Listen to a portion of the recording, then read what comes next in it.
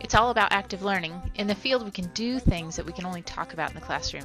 That's why I became a geologist. Geological evidence is crucial to understanding climate change. Glaciers, fossils, and sea level changes leave an imprint that we can see in the rocks. Earth is dynamic and ever-changing. Some processes that drive this change are obvious. Waves, wind, water, ice. While others are internal, evident only where erosion has provided a window into Earth's past. We want our population to think about and understand science without being scientists. Undergraduate research opportunities develop critical thinking skills that facilitate the transition to graduate study and give students a taste of what the next level's like. We are scholars. Our scholarly activity enhances learning experience for our undergraduates, helps us to develop on a professional level, and raises the profile of our university. Why here?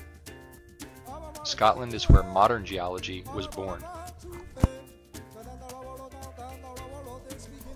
Nobody thinks of a desert when they think of Scotland, but these are desert sands.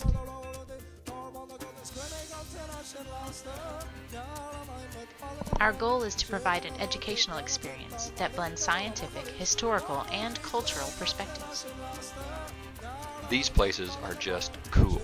In many cases, the geology influenced the development of entire cities. For me, this is an incredibly important site. I think as we came down, one of the things we saw was a sign that said this is perhaps the most important geological site in the world. Maybe that's a bit of hyperbole. But for scientists like me and my colleagues here from Northwest Missouri State University, this is sort of a pivotal outcrop. It's a place where the things that we look at in the classroom and we talk about in big pictures on screens come to life.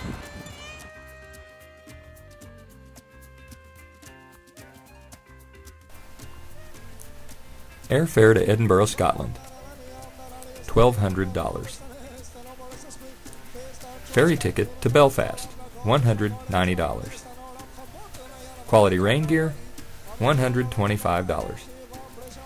Walking in the footsteps of giants. Priceless.